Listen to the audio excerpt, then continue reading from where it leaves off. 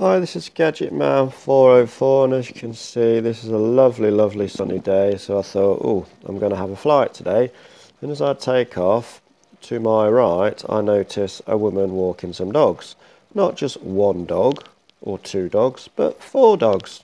And at no time did this lady call her dogs to her, which she could have done at any time. So I'm deliberately looking where they are to the right of me now and I'm not going over that part of the field. I'm literally staying in this little quadrant, if you like, which isn't giving me much range, but still, I don't want to, um, you know, if it fails and it comes down and you can see it in the paper, oh, quadcopter comes down and hits my dogs and all the rest of it. So I thought, right, okay, you're not calling your dogs back, but I will keep out the way.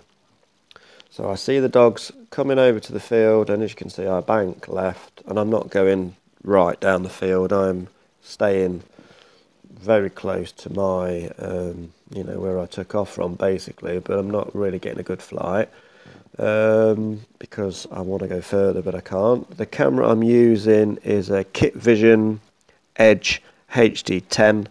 I'm using six, no, 720p, uh, 60 frames a second.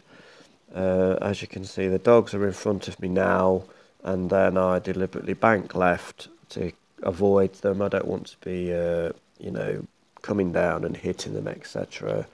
I have dogs of my own, and I don't want to hurt anyone else's dogs, as I wouldn't want anyone to hurt my dogs.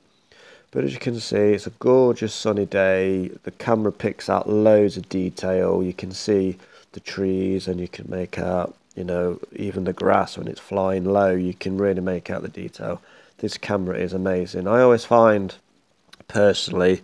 Um, 720 60 does seem a bit sharper than 1080p 30. That's my preference.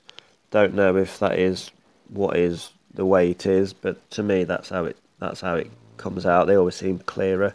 So as you can see, I'm coming low. See this tree and think, oh, I'll just fly around it. I've done it so many times before.